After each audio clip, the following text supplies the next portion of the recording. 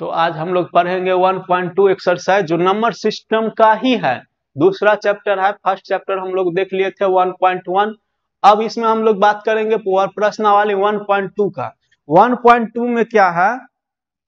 पहला number question क्या है? तो कहता है, नीचे दिए गए कथन सत्य है या असत्य है? कारण के साथ अपना उत्तर देने के लिए कहता है, क्या कारण है?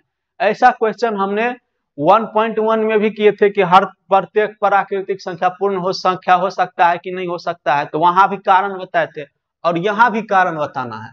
तो प्रत्येक परिमेय संख्या एक वास्तविक संख्या होता है तो होता है। नंबर सिस्टम में हम लोग बताए थे परिमेय संख्या और अपरिमेय संख्या, यानी परिमेय संख्या और अपरिमेय संख्या जो होता है, दोनों को मिलाने से क्या आता है? वास्तविक संख्या ही आता है।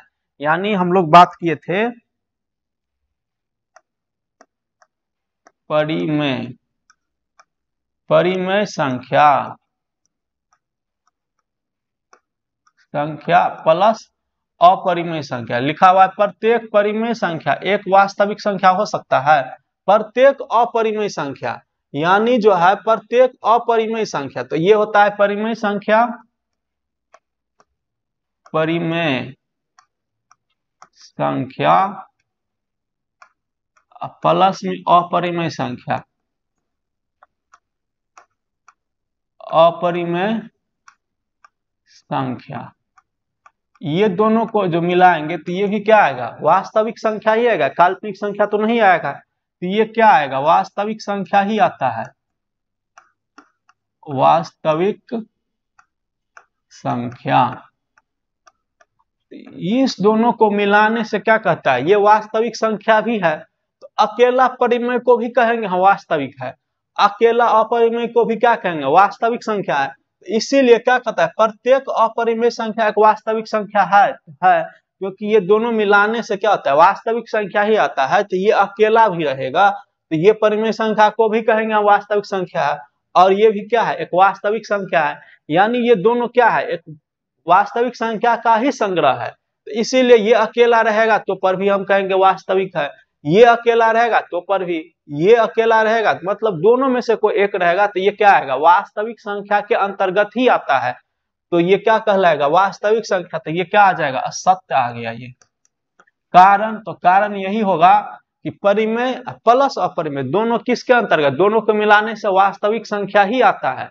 ये नहीं रहेगा तो इसका मतलब ये है तो इसका मतलब ये भी वास्तविक संख्या है। और ये नहीं रहेगा, ये है तो इसमें ये भी वास्तविक के अंतर्गत आ जाता है। तो इसमें क्या लिखा है? प्रत्येक अपरिमेय संख्या, एक वास्तविक संख्या है तो है, क्योंकि इसमें परिमेय नहीं रहेगा, अपरिमेय ही रहेगा तो वो भी वास्तविक के अंतर्गत आएगा।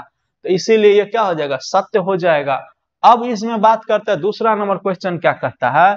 कि प्रत्येक संख्या रेखा का, संख्या रेखा का प्रत्येक बिंदु रूट एम के रूप का होता है। तो नहीं, क्यों? तो रूट एम के रूप का नहीं होता है। जैसे बात करेंगे हम रूट टू का रूट टू का तो ये रूट टू का जो वैल्यू आता है, जैसे कहता है कि रूट एम के ही रूप का होता है तो नहीं, ऐसा बात नहीं है कि हमेशा जो संख्या रेखा पर आता है तो ये जो संख्या रेखा है, मान लेते ये संख्या रेखा है, ये तुम्हारा तो ये आ जाएगा वन ये आ गया वन ये आ गया टू ये आ गया थ्री ये आ गया फोर तो ये कोई ज़रूरत नहीं है कि हर जो इसमें वैल्यू आता है, ये हमेशा ये रूट एम ए के रूप का होता है। ऐसा बात तो नहीं है, ये चार है।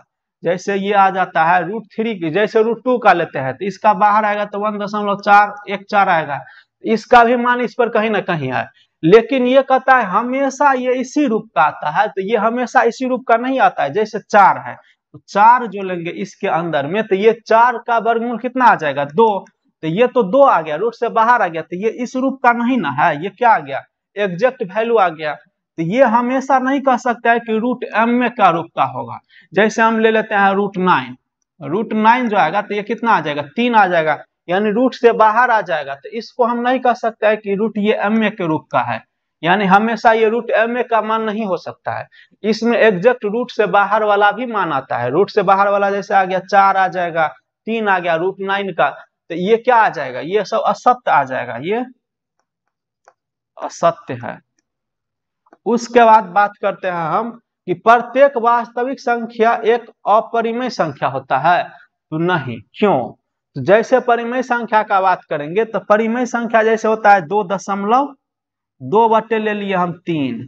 तो ये तुम्हारा एक और लेता है, जैसे पाँच बटे लिए दो। तो ये क्या है? परिमय संख्या, ये परिमय संख्या और ये भी क्या है? परिमय संख्या है। इसको यदि हम सॉल्व करेंगे तो ये क्या होगा? दो दशमलव पाँच आएगा, यानी दो दशमलव पाँच।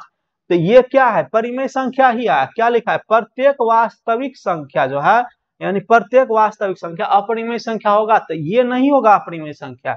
परिमय संख्या वही होता है जो क्या होगा? जैसे ये है, इसको लेते हैं, भाग देते हैं तीन से दो में तो क्या आएगा? ज़ीरो, ये आ जाएगा, ज़ीरो, ये आ गया दो दशमलव ज़ीरो तीन छके अठारह।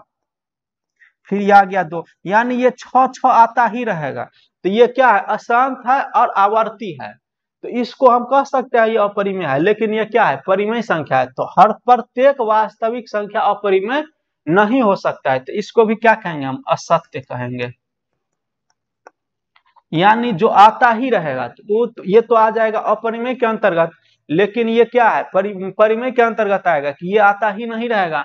तो ऐसा कोई प्रत्येक वास्तविक संख्या मतलब कोई भी बट्टा वाला मान तो नहीं है कि हमेशा आता ही रहेगा। जैसे ये है ये कट गया और जैसे ये है ये नहीं कटता है तो ये इसको हम कह सकते हैं अपरिमेय है लेकिन इसको नहीं कह सकता है। तो प्रत्येक बट्टा वाला मान जो है हमेशा अनंत वाला नहीं आता है। जैसे देखो ये ये तुम्हारा कट गया और ये है ये आता ही रहेगा। तो ये अपरिमेय है लेकिन ये अपरिमेय नहीं है। तो क्या लिखा है कि प्रत्येक वास्तविक संख्या अपरिमेय होगा? तो नहीं होगा। ये इसको हम कह सकते हैं, लेकिन इसको नहीं कह सकते। तो ये भी क्या आ जाएगा? असत्य के अंतर्गत आ जाएगा। ठीक? तो ये तुम्हारा, इसके बाद हम बात करते हैं दूसरा नंबर क्वेश्चन पर।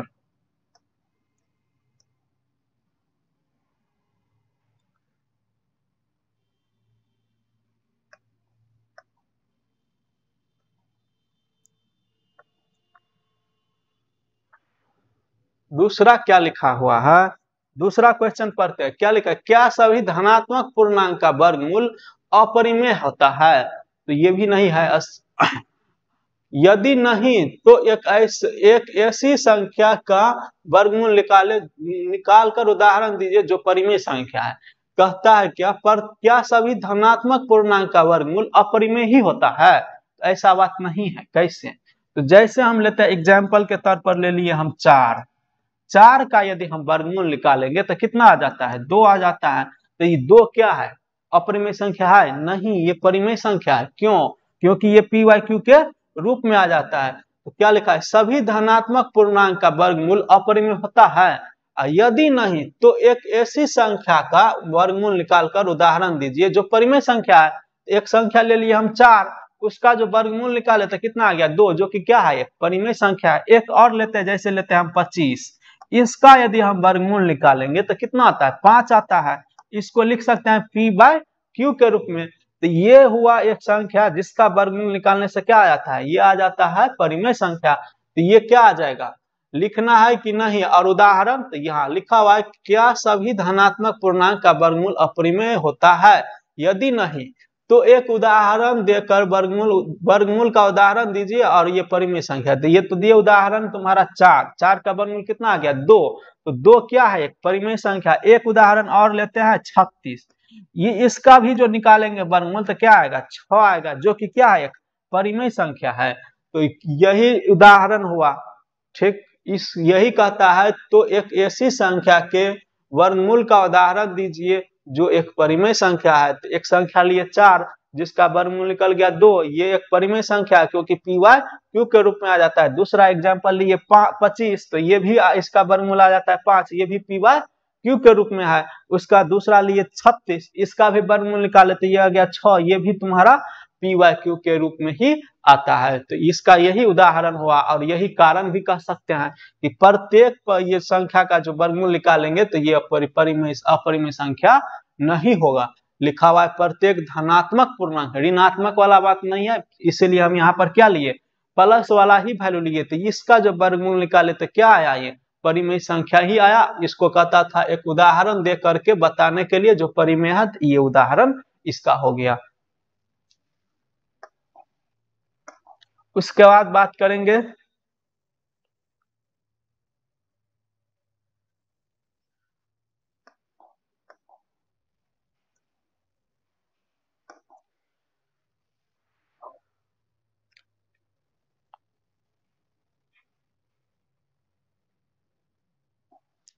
इसके बाद तुम्हारा क्वेश्चन है कि दिखाए की संख्या रेखा पर रूट फाइव को रूट फाइव को किस प्रकार निरूपित किया जाता है? तो रूट फाइव को हम किस प्रकार संख्या रेखा पर दर्शाते हैं, वो बताते हैं। सबसे पहले लेंगे तुम्हारा ये, एक लिए संख्या रेखा, वही ना संख्या रेखा पर ही निरूपित करना है। तो सबसे पहले ले लिए हम ये कितना, ये ले लिए ज़ीरो। अब इसका लेफ़्ट साइड में होता है एक्स, और ये होगा इसका एक्स टाइस अब ये क्या होगा तो ये हो जाएगा वन, ये हो गया टू, और ये कितना होगा, थ्री। इसको जो है आप लोग क्या कहते हैं? पेंसिल और प्रकार से के यूज़ करके बनाना है। जैसे जैसे हम यहाँ बता देते हैं, वैसे करके देखिएगा, यहाँ पर प्रकार से बनाना थोड़ा संभव नहीं है। एग्जैक्ट हम बताते हैं इसको कैसे करना है, वो बताते हैं।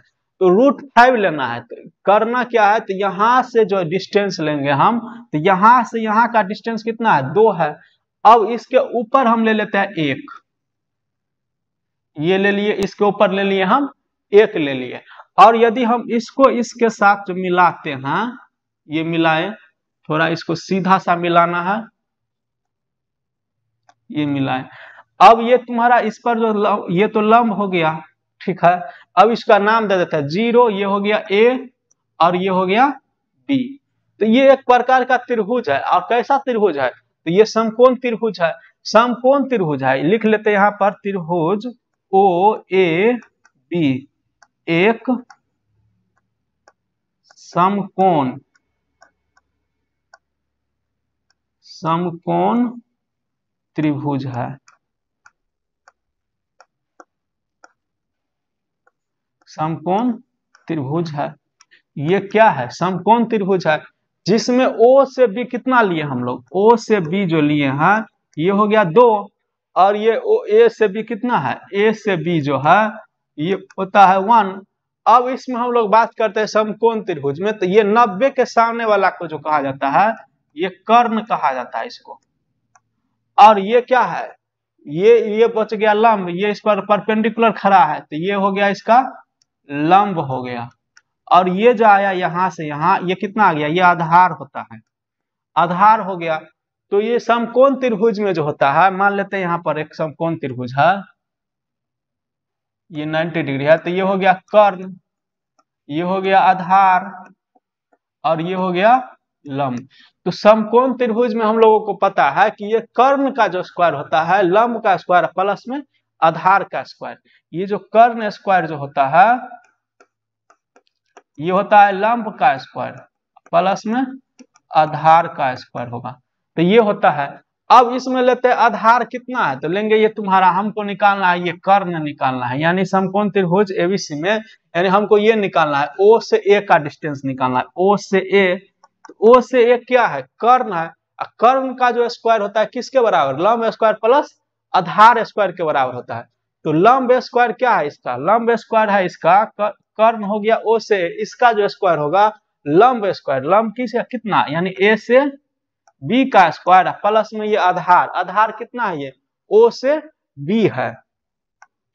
ओ से बी है, इसका स्क्वायर लिए हम। अब ये रूट है रूट को यदि साइड चेंज करेंगे तो ये क्या होता है? ये ये है स्क्वायर है इसको साइड चेंज कर दिए तो ये क्या हो जाएगा? स्क्वायर रूट यानी वर्गमूल में चेंज हो जाएगा रूट अंडर ए बी का स्क्वायर प्लस में ओ बी का स्क्वायर ये आ जाएगा। अब ये तुम्हारा कितना होगा? तो ए से बी तो ए से बी कितना है? वन तो ये हो जाएगा वन का स्क्वायर प्लस में ओ से बी तो ओ से बी कितना है? तो ये आ गया तो मेरा डिस्टेंस दो. तो ये आ जाएगा दो का स्क्वायर तो ये कितना होगा? एक का स्क्वायर हो गया एक का प्लस में ये दो का स्क्वायर तो ये हो गया चार. तो ये रूट अंडर कितना निकल गया? पाँच. ये जो कर्ण आया है ओ से ओ से ए कितना आ गया? रूट पाँच. यानी ये जो निकला मेरा, ये कितना निकल गया? रूट अंडर पाँच निकल गया. अब इसके बाद क्या करना है हमको? तो ये लेंगे, ये हो गया मेरा प्रकार का नोक, ये हो गया पेंसिल। इसको ऐसे, या ये हो गया प्रकार का नोक। इसको यहाँ रख के, और ये पेंसिल का जो होगा, ये पेंसिल, इसको यहाँ पर रख के, और इसको ऐसे मिलाएँगे, डॉटेड लाइन से जो हम मिलाएँगे तो ये ऐसे डॉटेड लाइन से ये ऐसे मिलता है। यहाँ पर मिला तो यही क्या कहलाएगा? Root under five. तो इसको ऐसे ही निरूपित किया जाता है, रूट फाइव को। ठीक है? तो इसको हम लोग ऐसे ही निरूपित करेंगे, ठीक है?